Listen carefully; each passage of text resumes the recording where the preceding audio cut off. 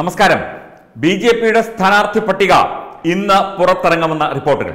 ഡൽഹിയിൽ തിരക്കിട്ട ചർച്ചകൾ നടക്കുകയാണ് ബി ജെ പി ദേശീയ അധ്യക്ഷൻ ജെ പി നദ്ദ അതുപോലെ തന്നെ കേന്ദ്ര ആഭ്യന്തരമന്ത്രി അമിത്ഷാ എന്നിവരുമായി വിശദമായി സ്ഥാനാർത്ഥി പട്ടിക അവർ രണ്ടുപേരും പരിശോധിച്ചുകൊണ്ടിരിക്കുകയാണ് എന്നാണ് റിപ്പോർട്ടുകൾ പുറത്തു വരുന്നത്. അതിനിടയിൽ ബി ജെ പി സംസ്ഥാന അധ്യക്ഷൻ ശ്രീ കെ സുരേന്ദ്രൻ മഞ്ചേശ്വരത്തേക്ക് യാത്ര തിരിച്ചിട്ടുണ്ട്. അദ്ദേഹം മഞ്ചേശ്വരത്തോ അല്ലെങ്കിൽ കോന്നിയിലോ മത്സരിക്കും എന്ന് നേരത്തെ സൂചനകൾ ഉണ്ടായിരുന്നു. പ്രമുഖരായ നേതാക്കൾ ഇപ്പോൾ ആ, ശ്രീ പി കെ കൃഷ്ണദാസ് അദ്ദേഹം കാട്ടാക്കടയിൽ അദ്ദേഹം ഏതാണ്ട് ഉറപ്പിച്ചിരിക്കുകയാണ്. അതുപോലെ പാറശാലയിൽ കരമന ജയൻ മത്സരിക്കും എന്ന സൂചനയാണ് ലഭിക്കുന്നത്. അതുപോലെ കോഴിക്കോട് നോർത്തിൽ ശ്രീ എം ടി രമേശ് മത്സരിക്കും. അതുപോലെ ശ്രീമതി ശ്രീ- ശോഭാ സുരേന്ദ്രൻ മത്സരിക്കും എന്ന സൂചനയുണ്ട്. പക്ഷേ കഴക്കൂട്ട മണ്ഡലമാണെങ്കിൽ അവർ മത്സരിക്കില്ല എന്ന സൂചനയുണ്ട്. അങ്ങനെ കൃത്യമായ ഏകോപനത്തോടുകൂടി കൃത്യമായ നടപടിക്രമങ്ങളോടുകൂടി ബി ജെ പിയുടെ അവസാനവട്ട സ്ഥാനാർത്ഥി നിർണയ ചർച്ചകൾ പുരോഗമിക്കുകയാണ്. വൈകുന്നേരത്തോടുകൂടി തന്നെ പട്ടികയുടെ പൂർണ രൂപം അറിയാൻ സാധിക്കുമെന്നാണ് മനസ്സിലാകുന്നത്. അതുപോലെ കൊട്ടാരക്കരയിൽ ശ്രീ സന്ദീപ് വാര്യർ മത്സരിക്കും എന്ന സൂചനയുണ്ട്. അതുപോലെ അമ്പലപ്പുഴയിൽ ശ്രീ സന്ദീപ് വചസ്പതി മത്സരിക്കും എന്ന സൂചനയുണ്ട്. അങ്ങനെ വിവിധ നേതാക്കൾ പ്രമുഖരായ നേതാക്കൾ അതുപോലെ ഇ ശ്രീധരൻ പാലക്കാട് മത്സരിക്കും എന്ന ഏതാണ്ട് ഉറപ്പായി കഴിഞ്ഞു. അങ്ങനെ വിവിധ നേതാക്കൾ വിവിധ ഇടങ്ങളിലായി മത്സരിക്കാനുള്ള തയ്യാറെടുപ്പിലാണ് അവസാനപ്പെട്ട ചർച്ചയാണ് സ്ഥാനാർത്ഥി നിർണയ പട്ടികയുമായി ബന്ധപ്പെട്ട് നടക്കുന്നത്. അതിനിടയിൽ ഒരു K general secretary B J പിയിലേക്ക് എത്തും എന്ന സൂചന ഇന്ന് രാവിലെ മുതൽ ലഭിച്ചിരുന്നു. അതായത് അദ്ദേഹത്തിന് സ്ഥാനാർത്ഥിത്വം നൽകുമോ എന്നറിയില്ല. ബി ജെ പിയിലേക്ക് നിരവധി പേർ ഇങ്ങനെ കോൺഗ്രസിൽ നിന്നും സി പി എമ്മിൽ നിന്നും ഒക്കെ കഴിഞ്ഞ കുറെ കാലങ്ങളായി കേരളത്തിൽ മാത്രമല്ല വിവിധ സംസ്ഥാനങ്ങളിൽ വന്നുകൊണ്ടിരിക്കുകയാണ്. അതിന്റെ ഭാഗമായി ഒരു K P C C general secretary ഉടൻ തന്നെ ഭാരതീയ ജനതാ പാർട്ടിയുടെ ഭാഗമാകും എന്ന സൂചനയിലേക്കാണ് കാര്യങ്ങൾ പോകുന്നത്. മുൻ കെ പി സി സെക്രട്ടറിയും മുൻ K T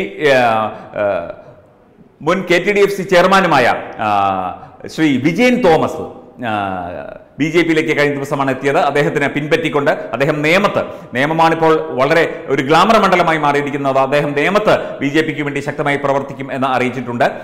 Kerala state tourism development corporation ചെയർമാനായിരുന്നു. മുൻ മുൻ ജയ്ഹിന്ദ് ടി വിയുടെ സിഇഒ ആയിരുന്നു. മുതിർന്ന കോൺഗ്രസ് പ്രവർത്തകനാണ്. നിയമം കേന്ദ്രീകരിച്ചാണ് അദ്ദേഹം പ്രവർത്തിക്കുന്നത്. അപ്പോൾ അദ്ദേഹം തീർച്ചയായും ബി ജെ പിയുടെ ഭാഗമായി കഴിഞ്ഞു. അതുപോലെ ഒരു കെ പി സി സി സെക്രട്ടറിയുമായി കേന്ദ്ര നേതൃത്വം ഇപ്പോൾ കൂടിയാലോചനകൾ നടത്തിക്കൊണ്ടിരിക്കുകയാണ്. അദ്ദേഹം കൂടി ഇപ്പോൾ ഭാരതീയ ജനതാ പാർട്ടിയുടെ ഭാഗമായി എത്തും എന്നാണ് മനസ്സിലാകുന്നത്.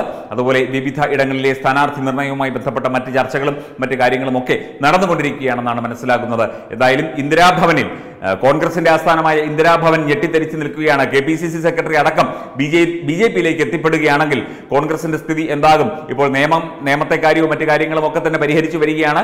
എൺപത്തൊന്ന് സീറ്റുകളിൽ കോൺഗ്രസ് സ്ഥാനാർത്ഥികളെ പ്രഖ്യാപിച്ചു. ഘടകക്ഷികളുമായി ചർച്ച നടത്തി ഒരു വിധത്തിൽ കാര്യങ്ങൾ ഒതുക്കിക്കൊണ്ടുവരുമ്പോഴാണ് ഒരു പ്രമുഖനായ വ്യക്തി ഏറ്റവും മുതിർന്ന ഒരു നേതാക്കന്മാരിൽ ഒരാൾ ഇപ്പോൾ ബി ജെ പിയിലേക്ക് പോകും എന്ന സൂചന ലഭിച്ചിരിക്കുന്നത്. അതുകൊണ്ട് കെ പി സി സി ആസ്ഥാനം മൂകമായിരിക്കുന്നു ഞെട്ടിത്തെരിച്ചിരിക്കുന്നു എന്നാണ് തിരുവനന്തപുരത്ത് നിന്നുള്ള റിപ്പോർട്ടുകൾ സൂചിപ്പിക്കുന്നത്. ബി ജെ പിയുടെ സ്ഥാനാർത്ഥി പട്ടിക വൈകുന്നേരത്തോടു കൂടി തന്നെ പൂർണമായി യാതൊരു തർക്കവുമില്ലാതെ യാതൊരുവിധ യാതൊരുവിധ സംശയങ്ങളുമില്ലാതെ പുറത്തിറങ്ങും എന്നതിലേക്കാണ് കാര്യങ്ങൾ എത്തിക്കൊണ്ടിരിക്കുന്നത്. തീർച്ചയായും സ്ഥാനാർത്ഥി പട്ടികയ്ക്കായി എല്ലാവരും കാത്തിരിക്കുകയാണ്. കൃത്യമായ ഒരു ഏകോപനത്തോടുകൂടി നാൽപ്പത് എ പ്ലസ് മണ്ഡലങ്ങൾ ബി ജെ പി മാർക്ക് ചെയ്തിട്ടുണ്ട്. ഈ നാൽപ്പത് എ പ്ലസ് മണ്ഡലങ്ങളിലും കൃത്യമായി ഏകോപനം നടത്തി കൃത്യമായി വിജയം കൈവരിക്കാനുള്ള സാധ്യത വളരെ കൂടുതലാണ് ബി ജെ പിയെ സംബന്ധിച്ചിടത്തോളം. തീർച്ചയായും ഇടതുപക്ഷത്തിന്റെയും വലതുപക്ഷത്തിന്റെയും ഭരണം കൊണ്ട് മടുത്ത നേതാക്കൾ നേതാക്കൾ അടക്കമുള്ളവർ ബി ജെ പിയിലേക്ക് എത്തിക്കൊണ്ടിരിക്കുന്നു എന്ന സൂചനകളാണ് ഇപ്പോൾ ലഭിക്കുന്നത്. ഈ ഇലക്ഷന്റെ വളരെ പ്രധാനപ്പെട്ട ഒരു ദിവസമാണ് ഇന്ന് ബി ജെ പിയുടെ സ്ഥാനാർത്ഥി പട്ടിക. കോൺഗ്രസും അതുപോലെ തന്നെ ആ, ഇടതുപക്ഷവും തന്നെ സ്ഥാനാർത്ഥി പട്ടികയുടെ ഏതാണ്ട് ഒരു പ്രാഥമിക രൂപം പ്രസിദ്ധീകരിച്ചു കഴിഞ്ഞു. ഔദ്യോഗികമായി തന്നെ ഇനി സ്ഥാനാർത്ഥികളെ പ്രഖ്യാപിക്കേണ്ടതുണ്ട് കോൺഗ്രസിന് അതുപോലെ തന്നെ ഇടതുപക്ഷം ചിലയിടങ്ങളിലൊക്കെ സ്ഥാനാർത്ഥികളെ പ്രഖ്യാപിച്ചിട്ടുമുണ്ട്. എന്തൊക്കെയായാലും ബി ജെ പിയുടെ സ്ഥാനാർത്ഥി പട്ടികയ്ക്കായി ഇവിടെ കേരളം കാത്തിരിക്കുകയാണ്. വൈകുന്നേരത്തോടു കൂടി തന്നെ സ്ഥാനാർത്ഥി പട്ടിക പുറത്തിറങ്ങും. അതിനു മുൻപായിട്ട് ഒരു K general secretary B J പിയിലേക്ക് എത്തും എന്ന സൂചനയിലേക്ക് കൂടിയാണ് കാര്യങ്ങൾ എത്തിക്കൊണ്ടിരിക്കുന്നത്. Web desk Tatwamayi news.